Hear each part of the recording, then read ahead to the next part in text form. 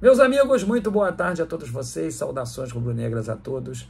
Muito obrigado a você aí, companheiro rubro-negro e anti-rubro-negro que vai participar comigo desse divertido debate. Muito obrigado a você aí, companheiro rubro-negro e anti-rubro-negro que vai se inscrever no canal, que vai deixar o like no vídeo, que vai deixar o teu comentário no espaço reservado ao mesmo, porque você sabe que eu vou ler, que vai debater comigo sobre a pilhéria que eu vou fazer agora com os torcedores do Corinthians, que quero que me entendam também, porque o modus operandi de realização das minhas lives e vídeos tenta resgatar aquilo que tem de mais raiz do futebol, que é a provocação, a rivalidade saudável, aquela que era marcante nos anos 70, nos anos 80 e em meados dos anos 90, até quando a nutelagem, me perdoe aqui o neologismo, começou a criar, essa nova geração começou a criar termos, expressões como zicar, como falar antes da hora, como vai passar vergonha,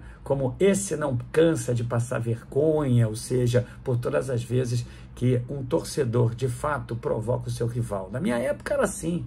Na minha época, na semana de clássico, era a provocação a semana inteira.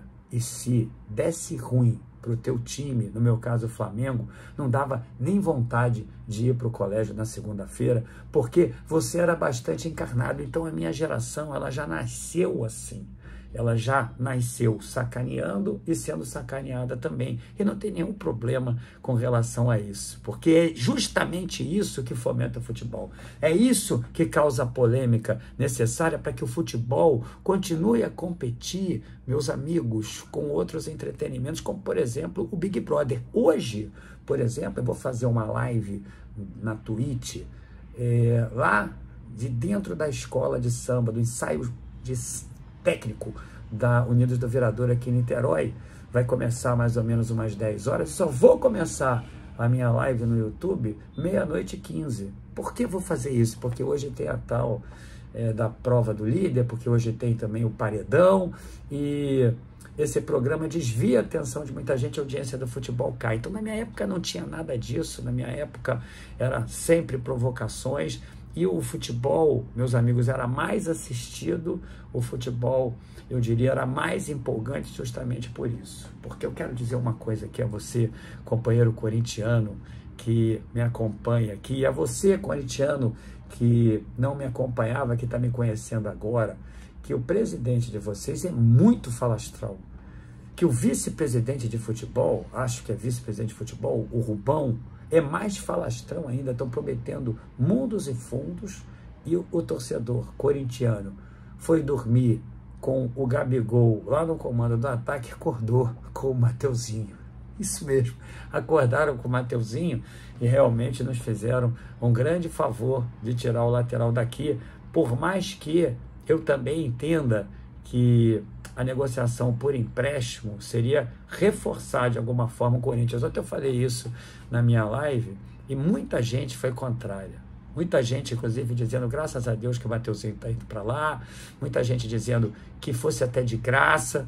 Mas eu realmente imagino que o Flamengo tivesse que vender o Mateuzinho e não emprestar, porque ainda assim, como companheiro ali, Fagner, está andando de bengala já no Corinthians, eu acho que melhor do que o Fagner, acredito ele que eu que seja. Agora, daí a vocês sonharem com o Thiago Maia, sonharem com o Gabigol e acordarem com o Mateuzinho, achando que é um pesadelo, e depois de cinco minutos tentando se beliscarem aí, depois de cinco minutos gritando com horror desse sonho e perceber que não era um sonho, que era realidade, realmente deve estar sendo muito engraçado aí para você corintiano, amigo aqui do canal. É óbvio que todos os clubes passam por essa situação.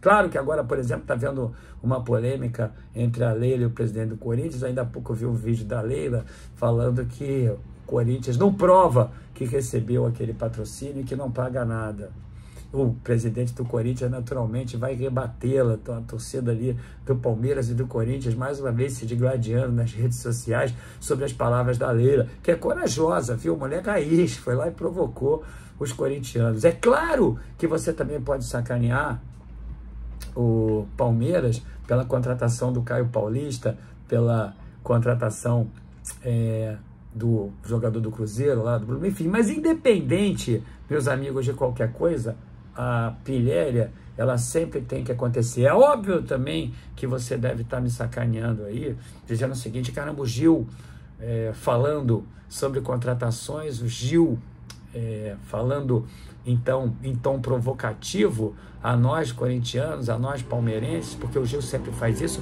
mas não está olhando para dentro do clube dele e entendendo que as mazelas não foram equacionadas. É óbvio que eu sei disso, é óbvio que eu sei que até agora só veio Dela Cruz. É óbvio que eu sei que eu só vejo que seja uma janela de saída e não uma janela de entrada. É óbvio que eu sei que deveria ter havido também uma proposta de reformulação dos quadros do departamento de futebol do Flamengo, eu não tenho nenhuma dúvida disso. Mas eu não podia perder exatamente essa oportunidade para brincar aqui com os meus amigos corintianos, que eu acho até que está fazendo algumas contratações de jogadores medianos, tentaram se livrar do Fausto Vera. Deus me livre, eu falei isso aqui para vocês. O presidente do Corinthians, tendo a cinte de dizer que o Gabigol deveria ser trocado pelo Fausto Vera. Isso só pode ser uma brincadeira, porque o único jogador, e eu falo aqui com sinceridade, do Corinthians, que eu queria no Flamengo era o Cássio. Por esse jogador aí, eu até aceitaria que o Gabigol fosse, mesmo com 30 e tantos anos, porque o Cássio é o melhor goleiro disparado do Brasil e deveria ter sido titular da Copa de 2014, da Copa de 2018 e 2022, ao invés do Júlio César e por duas vezes o Alisson, goleiro que eu nunca vou me cansar de dizer, seja Mequetrefe. É óbvio que eu sei de tudo isso, mas daí a você aí, corintiano, é, ter assimilado, ter absorvido as promessas, toda aquela falácia do presidente de vocês, que, como eu falei, é falastrão.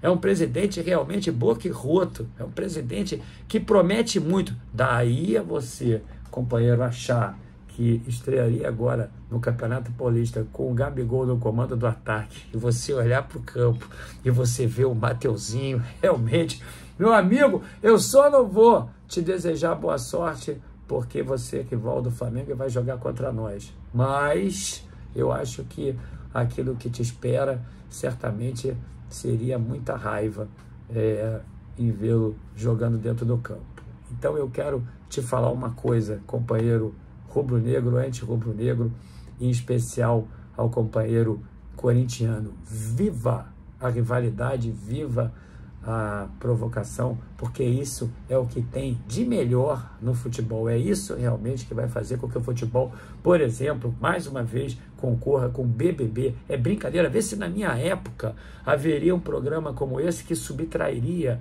é, iria subtrair a audiência do futebol. De jeito nenhum, não é? Então, eu quero aqui dizer a você o seguinte, meus amigos. Hoje a live começa meia-noite e 15 nas 10 horas, 10 e 15, acho que mais 10 e 15, eu vou entrar ao vivo na Twitch. Você baixa a Twitch aí, que eu vou fazer uma experiência. Não sei se a internet lá dentro vai ser legal, mas dentro da quadra, Unidos do Viradouro, aqui em Niterói, vou mostrar para vocês as mulatas dançando, vou mostrar para vocês a bateria, vou mostrar para vocês a minha movimentação, é, os meus amigos, as minhas amigas, vai ser bem legal. E para isso você tem que baixar a Twitch aí e me seguir lá, Fernando Gil RN. Fernando Gil RN. Live, então, no YouTube começa meia-noite e 15, por causa dessa história toda aí do Big Brother, prova do líder. E ah, na Twitch, às 10h15, eu vou fazer essa live na Twitch, porque ali eu estou livre de direitos autorais. E aí faço umas duas horas de live e depois venho para casa para, se Deus quiser, estar tá aqui com vocês na live raiz aqui no YouTube. Se inscreva aí no canal, deixa o seu like, baixa aí a Twitch, Fernando Gil RN. Se inscreva também no meu Instagram, arroba Fernando Gil Gil. E principalmente o com a minha filha, arroba Família Gil. Tô te esperando, em 10 e 15 tá Twitch. Vença essa tua resistência, companheiro. E assista comigo o um ensaio lá de bateria da Viradouro. E depois, meia-noite e 15, estou aqui no canal para a live raiz. Saudações rubro-negra, meus amigos. Um grande abraço.